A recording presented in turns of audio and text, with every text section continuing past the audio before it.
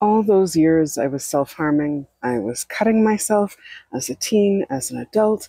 I was cutting to silence myself, to keep myself from talking about the abuse and torture because my abusers had threatened to kill me if I talked. And I saw them murder kids, and I was terrified for my life. I cut to escape from emotional pain when the emotional pain was too traumatic and I couldn't handle it anymore. I cut to stop the flood of overwhelming memories when they kept going on and on for hours and it was too painful. I cut to punish myself uh, for the abuse and the torture, even though none of it was my fault.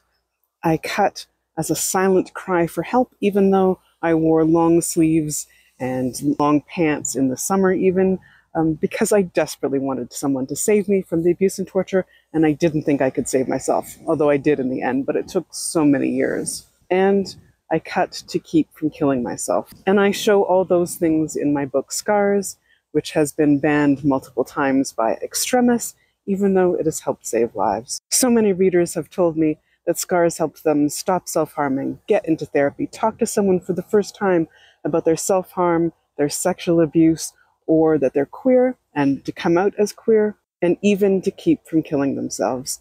Books can be powerful and healing. And if you would like a signed, rare, hardcover first edition of Scars, um, rare because it's no longer in print, the publisher went under, please donate $5 or more to the family in Gaza that I'm fundraising for, and then just email me a screenshot or an email confirmation to Cheryl at CherylRainfield.com.